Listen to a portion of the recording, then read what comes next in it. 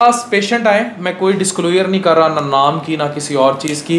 वो खुद नहीं आए उन, उन उनका डाटा कोई लेकर आया मेरे से टेलीफोन पर बात की। पेशेंट दुबई में होते हैं मसले सुन लें। मसले भी सुन लें और फिर मैं आपको बताता हूँ कि मसले रियल टाइम एग्जिस्टेंट नहीं है। वो कहता ये है कि मैं अनमेरिड है वो बंदा। कहता है मैदे के मसले हैं मेरी ज़बान खुश्क हो जाती है।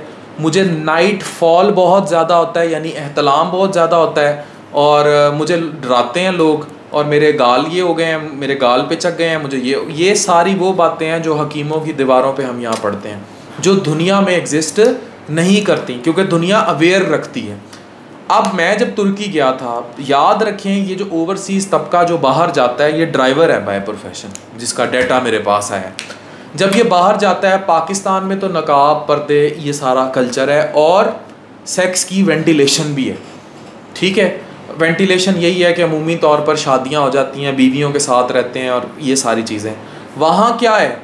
आप, मैं तुर्की गए गया था, मुझे शौक लग गया था। जब ये बाहर की दुनिया में जो लेबर क्लास जाएगी स्पेशली पाकिस्तान में क्यों रेप आम हो रहा है? शादी लेट कर रहे हैं आप लोग। ठीक है? चौदह, पंद्रह, सोलह, हद अठारह साल की उम्र तक इतनी बलोगत आ गई होती है।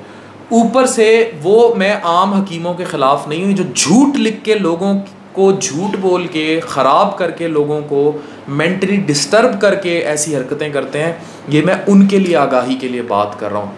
ये जो दीवारों पे मर्दाना कमज़ोरी का लफ्ज़ लिखा हुआ है, झूठ है, बकवास है, धोखा है। लिकोरिया का लफ्ज़ लिखा हुआ है, झूठ है, बकवास है, धोखा है।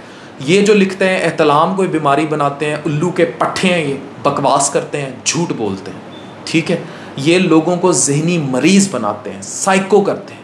मेरे पास ओवरसीज़ छोड़ो, पाकिस्तानी ऐसे यंग लड़के आ जाते हैं, जिन जो गाले पिच की गालें वो जो लम्हों की गलतियाँ, बरसों की, पूरी दुनिया में या अर्ली मैरिजेस की जाती हैं, या उनको बताया जाता है। मैं आपको क्लियरली एक बात बता रहा हूँ माशरे में निकाह को आम करें, शादी को आम करें ओवरसीज़ हों या पाकिस्तान में हों, अपनी फैमिलीज़ के साथ रहें। बाहर जाते हैं नंगी नंगी टांगें देखते हैं, खुले गले देखते हैं, क्लब कल्चर देखते हैं, शराब देखते हैं मॉडर्न लड़कियाँ देखते हैं। अल्टीमेटली कहता है, जी, मुझे नाइट फॉल बहुत ज़्यादा होता है। भाई, आपका जो स्पर्म और ये जितनी सीमन का कंटेंट है या जो भी आपका ये सारा है, ये बाल्टी ग्लास में पानी की तरह होता है, ये। ये ग्लास है, ये पानी की तरह होता है। ठीक है? ये भरता जाता है। ठीक है? ये भरता जाता है। ठीक है? ये इस तरह जैसे दिखाओ, जैसे भर रहा है, ये भरता जाता है। अब अगर ये पूरा भरेगा ठीक है? तो ये पूरा भरता जाएगा, ठीक है? अब इसने भरते जाना है, भरते जाना है। अब आपको अगर ज़्यादा शहवत हो रही है तो ये और भरेगा। इधर लाओ कैमरा, इधर दिखाओ। ये और भरेगा और भरेगा तो क्या होगा? ये ओवरफ्लो करेगा, ये ऐसे जैसे पानी, ये गिर गया। इसे नाइट फॉल कहते हैं।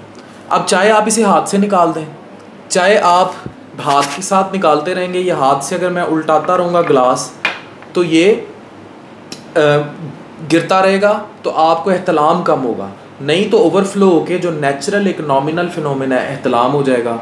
लेकिन बेस्ट तरीका क्या है? इस्लाम क्या कहता है? आप शादी करें, आप मुकारबत करें, आप ताल्लुक़ कायम करें ताकि ये चीज़, ये पानी निकलता रहे जो भरता जा रहा है, ठीक है? ये एक नेचुरल तरीका है जो शरीयत देती है कि नॉर्मली इसको निकालते रहें। रही बात जो मैं हाथ से मास्टरबेशन की बात कर रहा हूँ, मुझे और किसी उस पर बात नहीं करनी, लेकिन मेडिकली मेडिकली मेडिकली मेडिकली किसी किताब में उसका कोई नुकसान डॉक्यूमेंटेड हेल्थ पे नहीं है, जो रिलीजियस पर्सपेक्टिव है, मैं कोई रिलीजियस स्कॉलर नहीं हूँ, मैं उस पर कमेंट नहीं कर रहा। लेकिन बेहतर और शर्म तरीका यही है कि निकाह किया जाए, शादी की जाए और अपने बच्चों और अपनी फैमिली के साथ रहा जाए, ताकि जो ग्लास भर रहा है ये प्रॉपर तरीके से जो इस्लाम में शरई तरीका है, शादी का, उसके ज़रिए ये हो। सत्ताईस दफ़ा आपको महीने में ही करना पड़ता है। If you don't do it तो फिर नाइट फॉल हो जाएगा इतलाम हो जाएगा, जो कि एक नॉर्मल अमल है, जो कि एक नॉर्मल चीज़ है। अब इस चीज़ को जो झूठ लिखते हैं दीवारों पे, चाहे वो कोई भी शख्स लिखता है, वो इस चीज़ को नेगेटिव मनफी, झूठ करके बेचते हैं। ठीक है? ये चीज़ झूठ करके जो बेची जाती है, वहाँ से काम ख़राब होता है। और ये लोग जो ओवरसीज़ अकेले रहते हैं डिप्रेशन का शिकार होते हैं, ये फिर इन चीज़ों को ज़्यादा देखते हैं, फिर शादियाँ नहीं होती। शरण एक ही तरीका है, जो शरीयत कहती है, जो मेरा मज़हब कहता है और जो मेडिकल साइंस भी कहती है, सबका एक इक्तफ़ा जो है, वो एक ही चीज़ पर है। वो है शादी, निकाह या प्रॉपर मैरिज वो होगी तो ठीक रहेगा। नहीं तो एक ग्लास है, ये मैंने आपको बता दिया मैं फिर कहूँगा शरण अपनी शरीयत को फॉलो करें, जल्दी निकाह करें लेट मैरिजेस ना करें, माशरे को और ओवरसीज़ भी अपनी बीवियों को अपने साथ रखें, ताकि आप गुनाह से भी बचें, आप परेशानियों से भी बचें स्ट्रेस से भी बचें एंगजाइटी से भी बचें, तब हर चीज़ से, नहीं तो फिर रेप तो है ही है, जना तो है ही है, इसने तो निकलते रहना है। ठीक है? इस फौरे को कैसे कंट्रोल करना है? ये सोचें। मेडिकल की हर किताब उठा के देख लें मेडिकल साइंस की। उसमें यही लिखा हुआ है, जो आपको बताया है। रिसर्चों पे सर्च कर लें। यही लिखा हुआ है। आज गूगल पे टाइप करें कि night fall is normal masturbation is normal आप टाइप करें, आपको बहुत कुछ मिल जाएगा जो अथेंटिकेटेड एन या मेडिकल जर्नल्स की प्रॉपर वो है। लेकिन best is the best is get married और फिर शादी करने के बाद भी साथ रहें। शादी के बाद अलग रहना मतलब फिर गुनाह को दावत देना, ठीक है?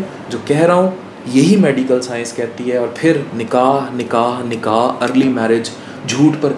और इस पानी के गिलास के उंडल जाने का, चाहे एहतलाम से हो, चाहे हाथ से हो, चाहे मैरिज से हो, इसका पिचके गालों, आपकी हेल्थ के ख़राब होने, आपके कमज़ोर होने, आपके स्ट्रेस लेने, आपके मैदे के मसले या किसी भी और चीज़ से कतई तौर पर कोई लेना देना नहीं है। It is absolutely normal as far as medical science is concern doctor of Afan Kaiser signing